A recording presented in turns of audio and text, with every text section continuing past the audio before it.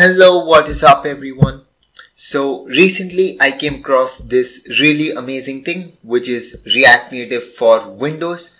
So now we can create Windows apps with React Native. Earlier we just we could just create iOS and Android apps. Now we can do Windows and Mac OS as well.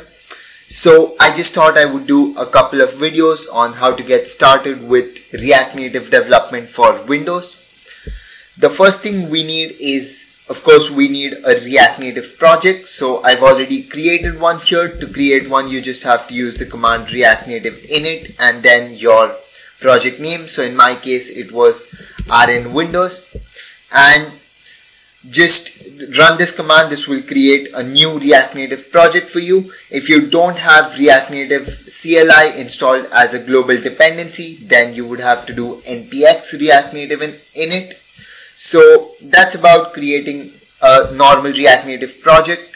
But I'm going to assume that you know a little bit about React Native before you're getting into Windows. So the next thing I need to do is I, I'll look at this development dependencies. So when I go here in development dependencies, I have these dependencies mentioned right here. So when I go into my Visual Studio installer, here in build tools I have these options which I need to install. So from workload I workloads I need universal windows platform. So I have universal windows platform that's this one right here. And I also need the C++ build tools so I have that here as well. So I need to install both of these. In my case I already have these installed. And I also need uh, Node.js build tools They've mentioned it as optional, but I would recommend you to just install it if you can. So once all of this is installed, we are ready to do um, React Native development for Windows. So coming back to our command line, let me just go inside my app that I've just created, my React Native app. And if you see here, I have all the standard React Native boilerplate code so the next thing I need to do here to support Windows is I need to give the command react native Windows init. And because this is a new project I don't need the override flag. But if you're trying to um, integrate React Native Windows in, in an existing React Native project you should use the override flag as well so in my case, I don't need this at all. So I'm just going to go with React Native Windows init. And once again, I'll need npx here. So it's npx React Native Windows init. And when I hit enter, this is going to add support for React Native Windows in this project, which is RN Windows, this project right here. So let me uh, come back when all of this is done. This is going to take some time. So Let's wait for it to finish and I'll see you after this is done.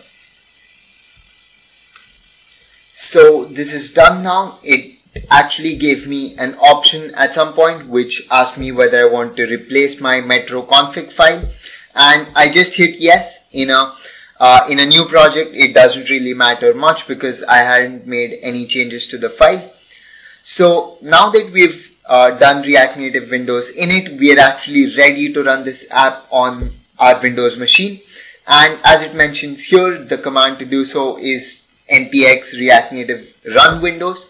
And in my case, I don't need the npx because I've already installed React Native CLI as a global dependency. So I'm just going to go with React Native Run Windows, and this is just going to uh, open the app in my on my Windows machine itself. So once again, this command is going to take quite some time uh, especially the first time that I run it, it will take much longer than uh, subsequent runs. So while this is going on, I just want to tell you that I'm not really planning on making this a series.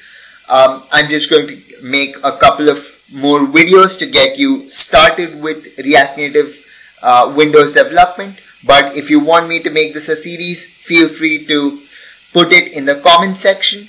And if the video helped you, uh, don't uh, do make sure to give the give it a like subscribe to my channel and share the video with your friends who are also doing react native Once again, let's wait for this command to finish.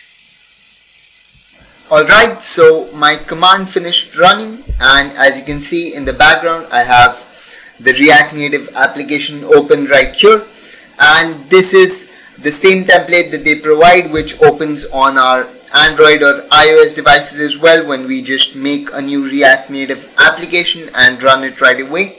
So this actually looks pretty good and that's it for this introductory video. In the next one we'll look at some simple stuff that we can do with this React Native application. We'll look at how we can navigate between screens.